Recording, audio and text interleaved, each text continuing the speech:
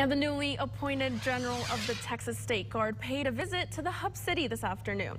Commanding Brigadier General Anthony Woods awarded a total of 12 different awards and promotions. But one of the awards that stood out was the Texas Purple Heart. This is the first Texas Purple Heart Award in the Texas State Guard. The message I'll send to, to troops across the State Guard is that people join the State Guard for, for three reasons. To promote, to, to serve, and to grow.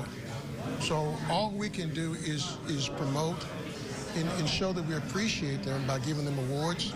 And these awards, you know, they, these promotions and awards can be used in their in their civilian capacity to show that, that they are responsible, that they can they, that they, they work well under, under stress.